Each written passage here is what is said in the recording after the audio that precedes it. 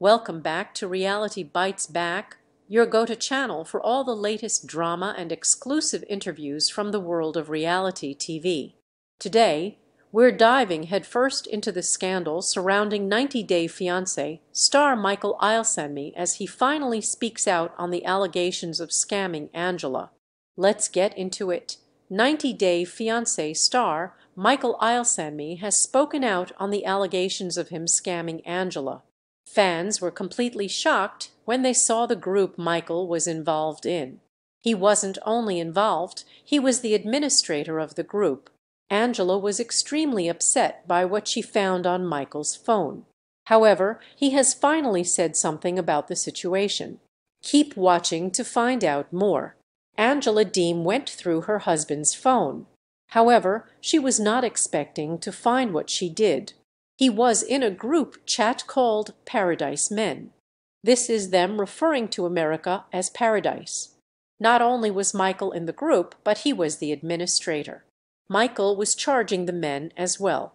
He had revealed Angela's tax returns in the chat to everyone in there, which is over 100 000 people.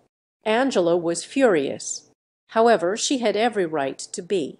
This was not something she expected, and she immediately wanted to get his visa revoked. Michael has finally spoken out on the issue. However, he did not have much to say. A fan commented, I was rooting for you, but after tonight's episode, I do believe you scammed Angela. Michael then replied, At Green Ace Jacks, bring your proof, and if not, don't ever tell me such. The proof was the group chat Michael. That is all he had to say about the issue. However, Michael had posted a video and a comment under Reed, We did it bro to face with tears of joy.